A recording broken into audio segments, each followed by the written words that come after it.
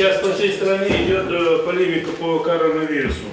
Значит, э, вот по телевидению сегодня на Москве там на 20 с лишним человек увеличилось заболевших. Мы собираемся здесь на оперативное совещание, и сейчас надо как можно короче эти совещания проводить, и как меньше народу собирает на эти совещания. А мы раздуваем это, вот час на час уйдет опять с лишним, не знаем, кто с какой болезнью, люди начинают заболевать уже. И у нас вот надо к, нас, наш, к нам прислушаться, у нас управляющая компания. Через нас идут народу очень много людей со всех домов, и мы тоже вот в каком режиме должны работать, потому что мы боимся тоже, сотрудники начинают заболевать, начинают какие там вирусы, не вирусы, но все равно болеть начинают. Весна, и какие-то меры надо принимать и в городе, и вот по, чисто по нашим управляющим компаниям какой-то режим устанавливать, работать в конце концов. Потому что нельзя, народ идет разный, мы его не знаем. А почему а... только ваша компания? Все компании также работают. Я говорю, управляющая компания. Ну, у нас народ больше идет, наверное, чем в любую другую. Этот вопрос, конечно, очень серьезный, да, на всю страну, на весь мир. А, Роспотребнадзор разработал памятки как действовать, в каких организациях, какие режимы работы, что надо предпринимать, э, что надо делать сотрудникам, как надо себя уберечь. Вот эти данные памятники, эти памятки у меня есть, я разошлю, пришлю и в администрацию, и в управляющую компанию, наверняка и в, у медиков это есть. Вот на каждом совещании, сейчас в каждом районном центре представитель Роспотребнадзора присутствует и это все дело объясняет. Есть рекомендации, раз, плюс есть наглядные Э, картинки для граждан, они там цветные, я разошлю в каждую управляющую компанию сегодня на каждый электронный адреса и попрошу разместить на информационных стендах, чтобы люди знали тот минимум, который необходимо будет какой-то, каких-то мер защиты, чтобы уберечь себя, своих близких, окружающих от распространения этого вируса. Там, в принципе, все просто и понятно расписано. А с другой стороны, вот есть такая статистика, интересная передача была, выступал один из докторов наук, из докторов наук, Э, Российской Федерации, ну, наверное, медики тоже знают, можете меня опровергнуть или подтвердить. Э, самая большая смертность на земном шаре от гриппа. Следующий идет, по-моему, раковые заболевания, только потом ВИЧ-инфекции, а коронавирус и все остальное это где-то позади. Это просто ажиотаж созданный. Опять же, кому-то что-то на этом вирусе надо было сделать. Сделали. Здесь ничего смертельного и ужасного нет. Еще раз говорю, от гриппа и от рака убирают, умирают больше в разы людей. Да, сотни раз больше.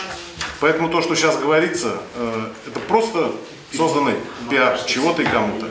Поэтому здесь действительно мыть руки, разговаривать друг с другом на определенном расстоянии, есть зона безопасности, зона комфорта до одного метра между людьми, не подходить друг к другу близко.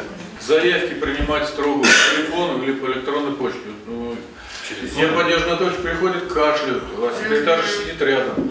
Дети тоже кашляют. Ну, вообще, все, все боятся Смотрите, ну, в этот момент можно, разработать объявление. Опять же, дома, повесить объявление. Можно сделать также объявление в той же газете местной. Можно да. сделать через интернет, через Замужье ТВ, можно сделать через телевидение. Я правильно, да. чтобы... На данный момент, пока идет вирус, а, как правило, вот насколько опять я знаю, его скорость распространения и температура. Температура, его активной фазы там, по-моему, плюс 5, плюс 9 градусов, да? Опять же, вот можете меня подтвердить или опровергнуть. Я источники из средств массовой информации только говорю. Когда будет более-менее положительная температура и влажность воздуха уменьшится, тогда скорость распространения ну, любого вируса она уменьшается. Поэтому здесь, опять же, меры гигиены, меры безопасности, марлевые повязки. Марлевые повязки, многие говорят, в магазинах исчезли, в аптеках. А вчера э, главный врач Балахминской ЦРБ доложил, что они изготавливают там сутки местными вся силами. Область, вся область делает. Вся область делает. Порядка 500 штук в день они изготавливают. Поэтому то же самое. Раньше у нас не было ни подгузников, были марлевые подгузники, марлевые повязки. Вот, пожалуйста применить руки, знания, опыт, научить новое поколение изготавливать эти модные повязки в техникумах, в школах, на предприятиях, на производстве. И это не смешно. Вот это как раз тот момент, когда не смешно.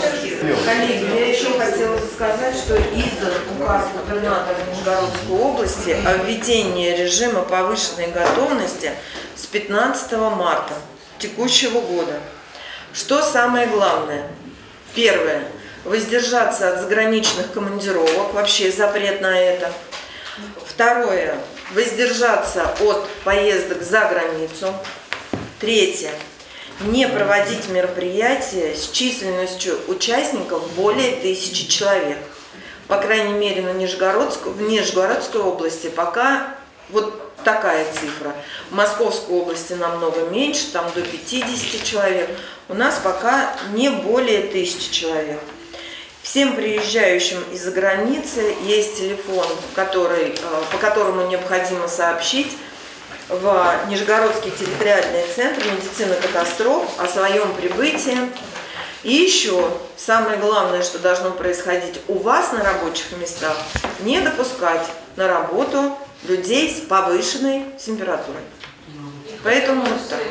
Мне кажется, надо Сергея Валерьевича послушать в данной ситуации. В плане э, вирусной инфекции, вот э, я мониторил детскую поликлинику, в основном она была показательные цифры. А Если было после 8 марта 80 вызов во вторник, то на сегодня, на вчера, на 60. То есть э, уменьшилось на 25%. Вот по коронавирусной инфекции, значит, как уже объявили все массовой информации, пострадавший, вернее, заболевший, как был один человек, так он остался. Новых э, э, случаев не зарегистрировано. Мы говорим про район или про, Про- область? про область. Про область. Да, ну, то есть это касается района. Значит, остаются потенциально опасными люди, которые вернулись из-за за границы, особенно учитывается четыре региона, это Южная Корея, Китай, Италия, Иран. Вот, да. И люди, которые с ними контактируют. Вот за ними особое наблюдение. Продолжаем брать анализы на коронавирус у заболевших пневмониями и вот у контактных таких. А чем он отличается от гриппа по симптомам? Симптоматика похожа, тем более Всё очень так. похожа со свиным гриппом, очень похожа симптоматика, повышение температуры, кашель, боли в грудной клетке. И могут быть разные дополнительные там еще пистолы, боли в животе, все может быть. Вот Главное для нас это эпиданамнез, то есть откуда приехал человек и были какие контакты. Вопросы к Сергею Валерьевичу есть? Мне кажется, у нас следующее, да, Да, спасибо. а по муниципалу вот указ он да, является вот действующим, Действующим. руководством действия. Если так, то я скажу на 13.03.2020 номер 27 указ губернатора Нижегородской области. Номер 27.